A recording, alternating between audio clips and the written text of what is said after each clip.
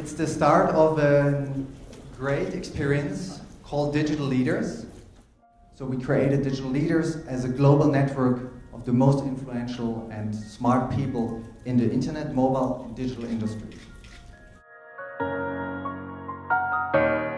What we are really looking at today, it's all about innovation and the innovation hotspot.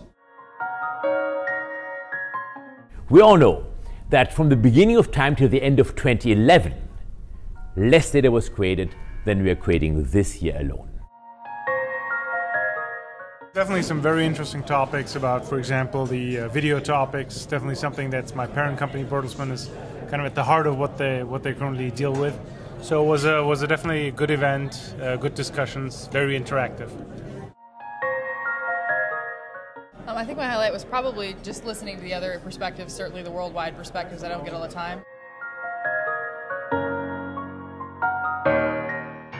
I think one of the most important things that an event like this can achieve is to actually make you think, to actually have you start, in, you know, uh, uh, bringing in information to your brain, molding it, shaping it, and come out with information that previously you didn't have. And this was really uh, achieved, very well achieved.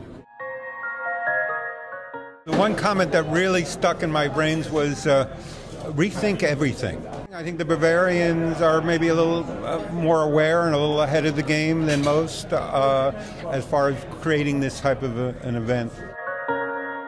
Monty, I think you did an unbelievable job. Her first outing, this was truly extraordinary. You should be quite proud of yourself. Great group of people, great content. Well done.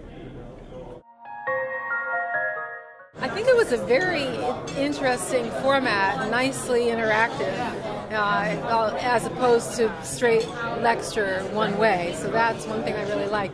I'm a young global leader for the World Economic Forum, so it reminds me of some of our discussions. Yeah, and so this gave me a lot of food for thought uh, in terms of the digital content, the audio, video content we're creating in that realm. Yeah, I thought there was some really amazing input. Ideas that mobile is growing really quickly. You know, these ideas that like the next billion people to come online will want a mobile phone. They don't want laptops at all. They're going to go on the internet and they're going to connect with mobile phones first. How can a mobile phone integrate with artificial intelligence in the future, and what would that look like? You know, I think it was very exciting. Monty did a great job in aggregating people with, with different background and also the diversity of topics which was covered. Um, that was amazing. It was a really amazing experience. It was an honor to see so many great innovators globally that you've assembled. I like the discussions. Uh, I, I, guess that's the thing to get people involved in discussions and uh, communicating and networking and changing seats my highlight was the new format. I, I like it. I think what you did here is really great. Great ideas. I think the controversial part about that discussion also, I think I really enjoyed that. The program was very diverse and I think it's great to mingle with the people and exchange ideas. That's a great event. Congratulations.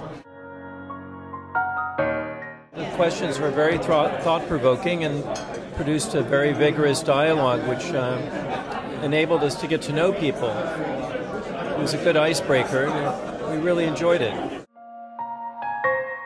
I think the biggest takeaway was uh, a lot of the questions that were raised were very interesting and thought provocative and made you think uh, about what you know what are the new trends that you need to think about, what are the things that that are coming up that are interesting, how can you integrate them in what you're working on, and uh, and how does that affect everything around you.